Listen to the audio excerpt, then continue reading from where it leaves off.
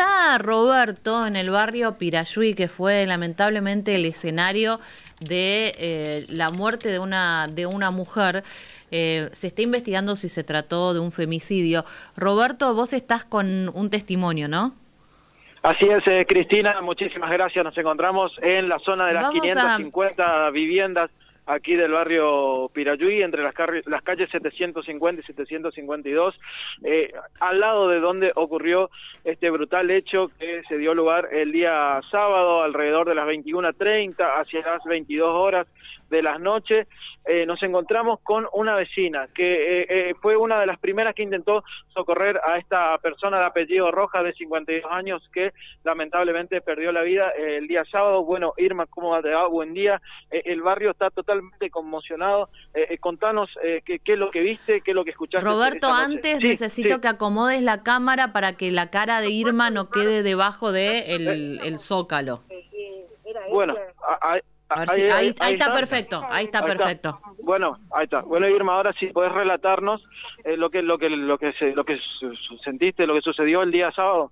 lo que sentimos es los cuatro balazos que se sintió y ahí nosotros salimos a mirar, pero no se veía nada, o sea que estaba justamente el poste de luz sin luz, porque sin luz estaba oscuro, o sea no se veía corrida de gente, de moto, de auto, o sea seguramente eh, lo que se escucha de los vecinos es que estaba la una moto y así la, la otra, la otro sector de la, de la vivienda, esperándole uno y otro que fajó seguramente a, hacerle estos daños que le hizo a la pobre mujer. Pero nosotros lo que escuchamos es los cuatro balazos y cuando salimos, mirar, ella ya estaba ya tendida ahí en la puerta de su casa, ya sin vida, los cuatro balazos. Nadie, nadie, nadie esperaba lo que le, lo que le sucedió, así que esto seguramente por encargo, seguro, o el marido, no sé, estaban problema de proceso de divorcio, todo lo que se escucha. ¿Y qué es lo que se hablaba en el barrio con respecto a esto?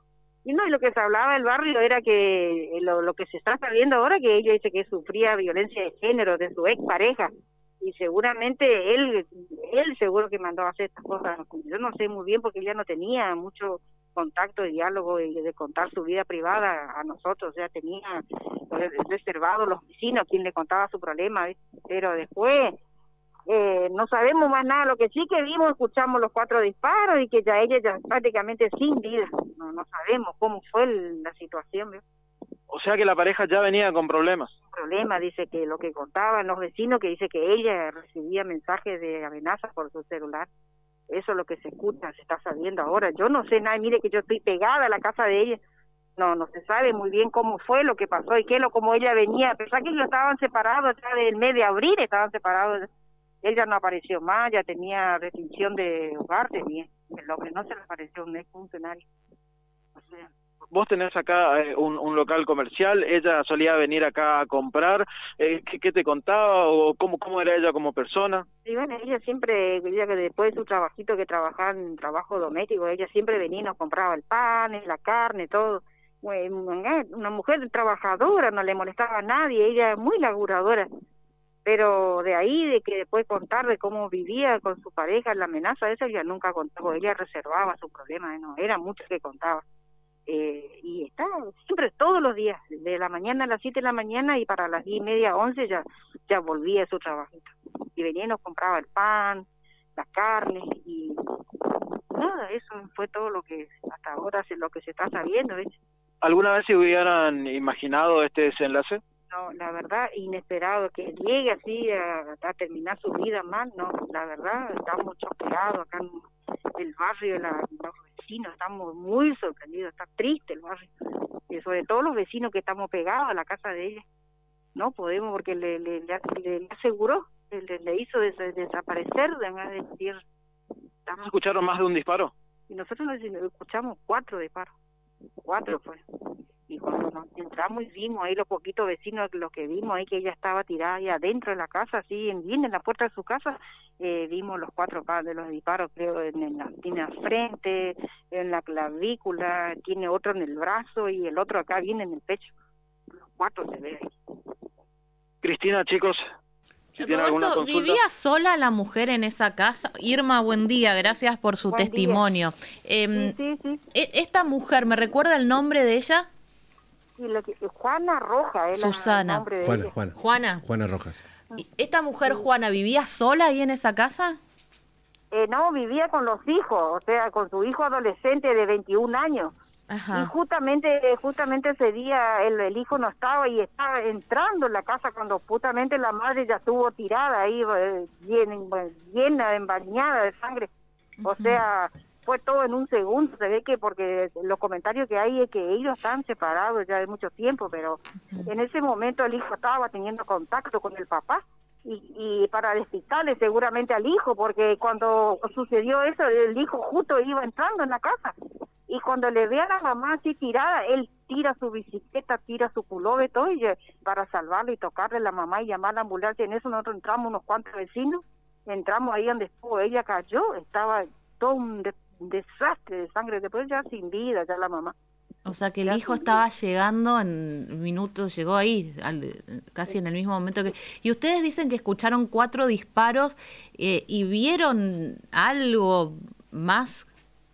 No, no, nada no vimos, porque justo donde ella estaba, donde es su, su dirección, justo tiene su poste de luz y en ese momento estaba, no tenía luz, no tenía alumbramiento oscuro, o sea, por más que uno le pueda ver a dos tres casas a la persona, no se le puede ver en las vestimentas de la, de la persona porque era estaba sin luz el poste.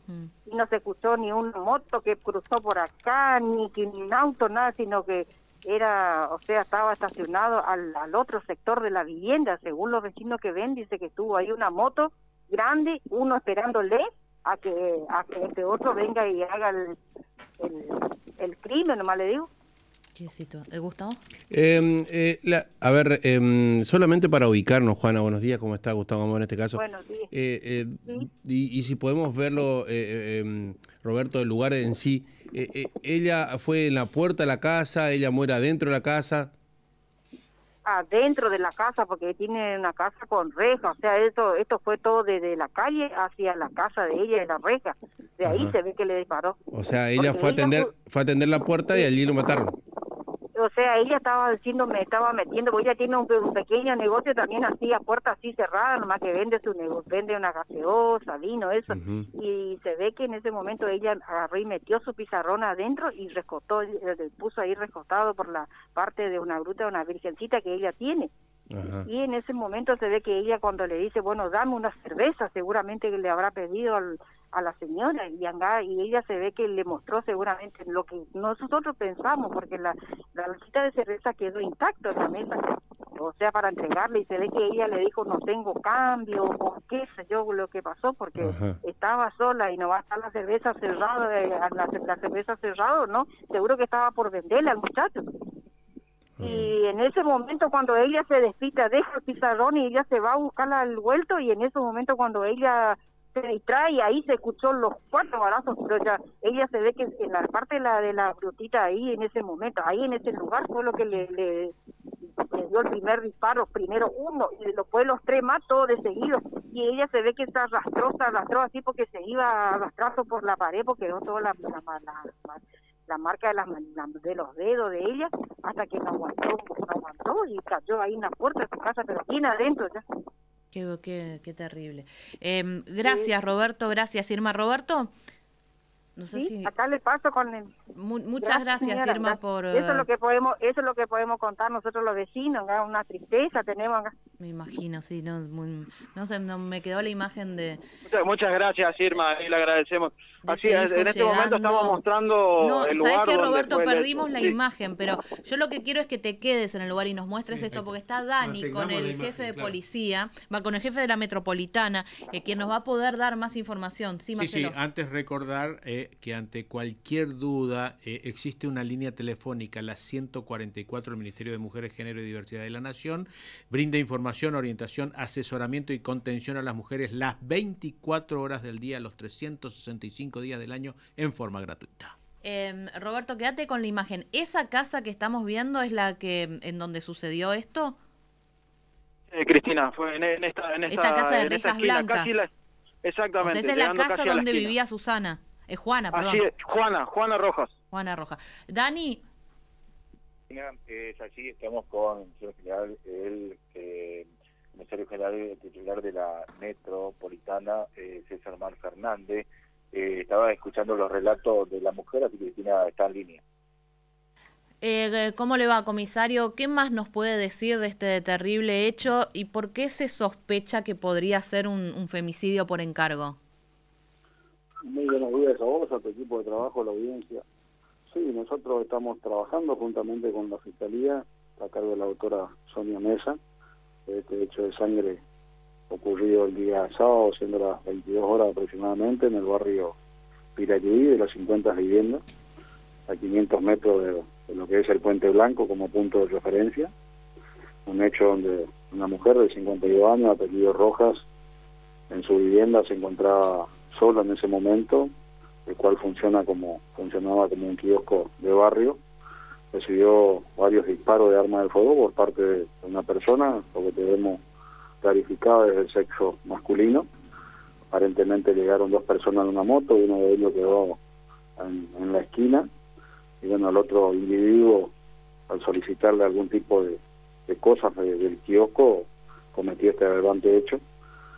Y se sospecha de que puede ser un, crimen por encargo conforme a las primeras testimoniales que, tiene la Fiscalía y, en el cual en primera instancia el día sábado ya se ordenó la, detención del, del esposo de esta del ex esposo de esta mujer, el mismo funcionario de la policía de la provincia con la jerarquía de cabo primero y está está detenido este, a disposición de la justicia. Eh, comisario, buenos días. ¿Es, es eh, funcionario o es eh, policía retirado? No, es funcionario, está en actividad con la jerarquía de cabo primero, cumpliendo cumplía sus funciones en la División Seguridad y Vigilancia. Ajá. Él en ese momento, al, al ser detenido, estaba trabajando en forma privada, digamos. Sí, estaba cumpliendo funciones de servicio de policía adicional en, en, un local comercial que se encontraba por Ruta 12. pregunto, ¿en ese lugar también estaba en el momento del asesinato de Rojas? En el lugar donde estaba haciendo servicio de Claro, donde era sereno, digamos. Sí, supuestamente en ese lugar estaba en ese horario, sí. Este, por eso creemos, pero por, e, estamos trabajando con diferentes testimonios, diferentes testigos mudos este, que podamos recabar en la zona y como el hecho es bastante este, importante porque estamos hablando de la, de la pérdida de la vida de una persona, este, hay cosas que obviamente no me voy a poder explayar. En, sí, eh, está bien comisario, o sea, la coartada de este hombre para decir que él no fue el autor material material de la muerte de su pareja, su expareja de, de Rojas, era que él estaba en ese momento en otro lugar y que tenía testigo de que estaba allí. Pero esto no significa que no haya sido el que haya contratado a estas personas para ejecutarle el, eh, bueno este crimen contra contra su pareja. Sí, puede ser. Estamos hablando no de un delito este, eh, del autor material, sino puede ser un autor intelectual. Intelectual. Eh, en este caso, es lo que la Fiscalía está apuntando. O sea, hablamos de sicarios. Sí, podemos ponerle ese calificativo si, si te parece. Y esas personas, porque está, a ver, quien está detenido es quien sería el instigador, ¿no? O sea, la expareja de esta mujer, el ex marido. Eh, tengo entendido que ya había algunas denuncias, no sé si incluso tenía una restricción, si esto lo puede confirmar.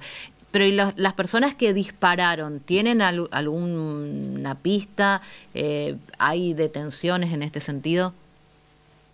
Por eso te vuelvo a repetir, estamos trabajando en eso. Primero que nada tenemos que identificar a estas personas, ojalá se pueda lo más pronto posible. Este, estamos trabajando en la zona con testigos presenciales y testigos mudos que pudieran haber en, todo el sector. Em, ¿La mujer recibió cuatro disparos? En primera instancia serían cuatro, pueden ser más. Este, la autopsia todavía no, no tenemos el informe, pero sí, en, primera instancia, cuando fue revisado por el, médico de la policía, determinó que, tuvo cuatro impactos, eh, lo cual le provocaron la muerte. Em, nos decía recién una, una señora, ¿no? una vecina, eh, que en el momento llegaba uno de sus hijos. ¿Esto es así? Lo que nosotros tenemos registrado. Es una zona bastante complicada, no hay una luminosidad importante. Este barrio o este grupo de vivienda está frente a un descampado importante con malezas importantes. Este, supuestamente el hijo la encontró a esta mujer en la puerta de su de, la vivienda ya tirada en el piso este, porque antes del ingreso a, la, a la puerta principal del inmueble hay un hay un muro y una reja perimetral que, que divide la casa con la con la vereda.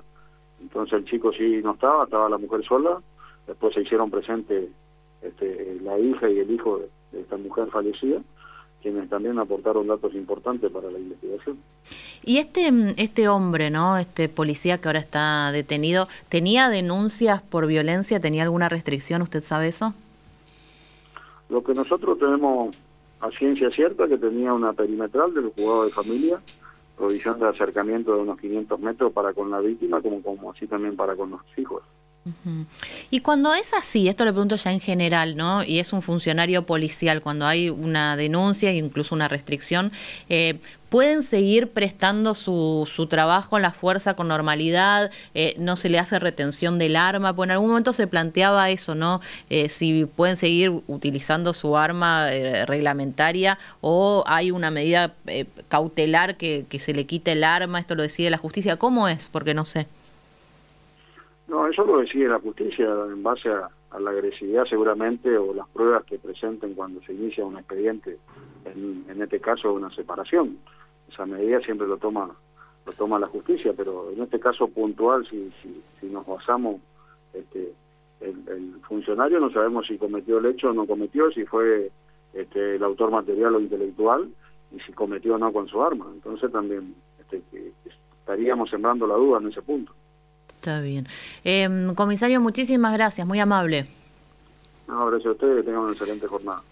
Bueno, que eh, Roberto sigue en el lugar. Roberto, ¿vos me escuchás? No, porque se cortó el audio. Bueno, eh, porque esa casa que nos está que nos está mostrando es el lugar en donde tuvo eh, este episodio terrible.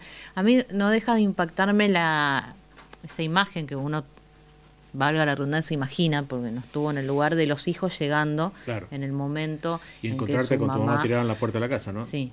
Eh, con, un ingrediente que recién lo decía el comisario, de que la persona a quien la eh, han demorado tiene elementos como para certificar de que él no estuvo en el lugar. Una coartada. Una coartada.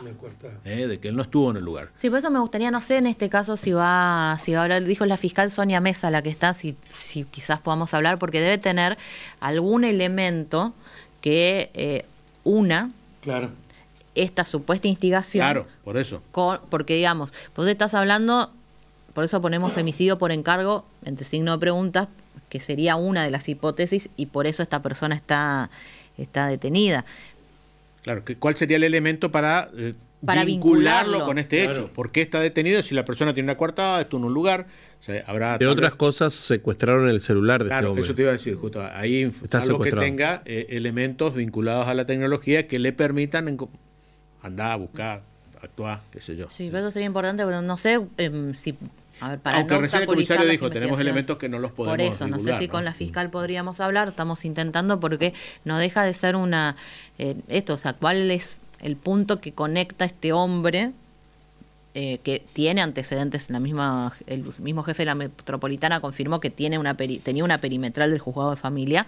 Eh, una perimetral es cuando hay ya una cuestión no solo de violencia sino de peligro no solo para con la mujer sino para, con, los, hijos. también claro. Entonces independientemente de eso, el hombre no estaba en ese lugar. O sea, él no fue, en principio, no sería el que disparó.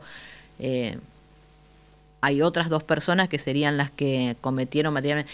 Qué terrible. Roberto, vos ahora sí me podés responder, ¿no? Ahora sí tenemos contacto con audio. Eh, Así es, Cristina. Estamos por acá todavía. Bueno, este es, esta es la casa. A ver si... Dice que tiene como un, un localcito. Eh, sí, lo que me comentaba la vecina Irma hace un momento es que eh, no, no, no parece un, un, negocio, no parece un local comercial, sin embargo, las personas del barrio ya conocían el lugar y ella, bueno, atendía a través de estas rejas, no dejaba pasar a nadie. Era una persona que, según los vecinos, eh, ya, vivía ya en un constante estado de, de temor. Sí, imagínate que... A pesar de ser muy reservada. Sí, y eh, está, está obviamente cerrada la casa. De, y, a ver, ¿podés girar a ver qué hay enfrente? o cómo Enfrente hay un descampado. Terreno, terreno hay un descampado, estamos hablando de las 550 viviendas del barrio eh, Pirayuí, un, barrio relativamente nuevo, a muy pocos metros de lo que es el denominado Puente Blanco. Claro. Y dijo la señora Irma, con quien hablamos, que no había, que había una columna de, luz que no tenía luz en ese momento, que debe ser esa... referencia a, esta, a esta columna que estamos enfocando ahí, que no tiene foco. Claro. ¿A qué hora fue esto, Gustavo? 22 horas, ¿no? Así es, entre 21, 30 y 22 horas, según lo que nos decía la vecina. ¿Y la casa de, esta mujer es la última ya? ¿Después está la esquina o, hay o, está a mitad de cuadra? No, hay otra, hay otra casa acá en la esquina. Estamos prácticamente llegando a la esquina. La anteúltima casa antes de llegar al cruce, a la curva esta que, que, hace seguir lo que sería calle 750. Claro. Y el espacio ese verde sería el patio del vecino, ¿no es cierto? Exactamente, Marcelo, exactamente. Bueno, ¿cómo está el barrio? Sí, Irma muy triste, se ve muy poco movimiento, ¿no? Un barrio bastante revolucionado. Eh, pude hablar con, con, una con una vecina que estaba esperando el colectivo en la esquina, es parada de colectivo, y bueno, ella me, contaba otra otra otra versión que eh, hablaba de una de una pareja feliz, que bueno, hasta abril que, que empezaron con estos problemas, eh, se, se, lo veía bastante bien juntos y que, bueno, de, empezaron los problemas y que ellos consideran que habrá desencadenado toda esta situación, pero que parecían una, una, una familia normal, una pareja normal. Claro, porque este, a ver, eh, la pareja hasta abril estuvo viviendo ahí en esa casa, por lo que nos contaban los vecinos, hasta hasta abril de, este año. Sí. De, de, hecho, tiene el apellido de, de este hombre. la, eh, la, dirección de todo tiene el, apellido del nombre. El domicilio, el domicilio tiene una identificación con el apellido de la persona que está detenida. Está bien. Exactamente. Gracias, Roberto. Saludos. Bueno, reiteramos en la línea 144, ¿no, Teresa? la... Línea 144 para casos de violencia de género, contención las 24